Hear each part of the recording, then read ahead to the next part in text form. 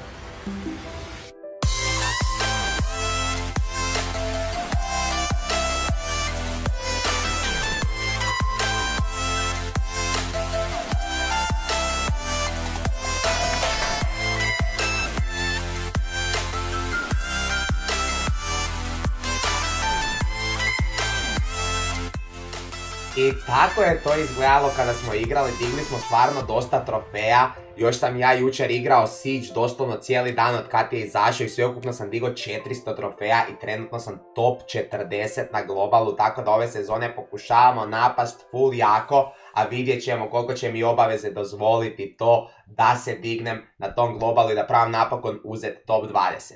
Idemo se baciti na lagane pozdrave, a današnji pozdravi idu za Ivan Mamić, Luka Marković, Lavek je najbolji, Domi YouTube, Zovi me kako hoćeš, Bruno SMB, Banana Spikes i Aleksa Jeftić. Ekipo, bilo je jako puno lajkanih komentara, tako da hvala vam od srca na komentarima. Ako i vi želite biti pozdravljeni u idućem videu, sve što trebate ostaviti komentare, ako će biti među najlajkanijima, pozdravit ću vas i pokazati vaš komentar u videu. Ako još do sad niste, obavezno me zapratite na Instagramu @lavek. Isto tako, joinajte Discord server, invite se nalazi u opisu ovog videa. I to bi bilo sve u današnjem videu. Ja se nadam da ste uživali. Ako jeste, lajkajte video, bacite taj subscribe, a mi ekipo se vidimo u idućem klipu. Pozdrav! Too many thoughts on my mind, I can't sleep at night, so I just keep writing. I don't need no help, I don't need opinions, so don't waste my time then. I just been living online, my city don't show me no love, and that's fine.